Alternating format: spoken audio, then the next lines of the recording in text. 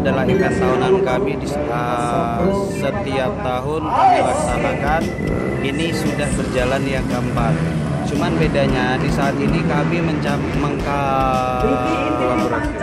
kolaborasi. Kolaborasi ya.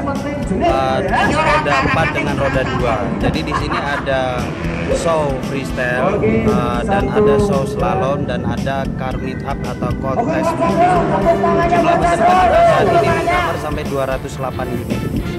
Dari berbagai daerah yang terdekatnya jelas Jogja dan Jawa Tengah all in semua di sini campur tidak ada brand uh, produk khusus tapi semua ada mulai dari mobil klasik retro sampai dengan car sampai dengan mobil-mobil yang sampai ada Rubiconnya juga.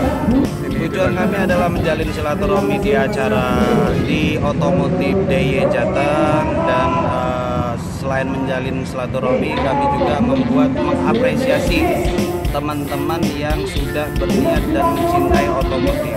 Kalau konsep slalom ini kami menampilkan dua tim, satu tim dari pihak Toyota Nasmoko itu adalah show perkenalan produk dari Toyota yaitu Toyota Agya dan kami memperkenalkan juga dibantu dan memperkenalkan juga dari tim slalom Jogja yaitu Jog JGRT Jogja Gimkana Racing Team dengan pembalap kebetulan di dalam JGRT ini ada dua pembalap yang kemungkinan di Indonesia ini bisa dianggap termuda yaitu masih kelas 1 SMP dan masih kelas 2 SMA dalam dalam show-nya sendiri ada beberapa rintangan yang disediakan atau seperti apa? Uh, kebetulan untuk slalom kami sediakan soalnya dari pihak uh, manajernya sendiri.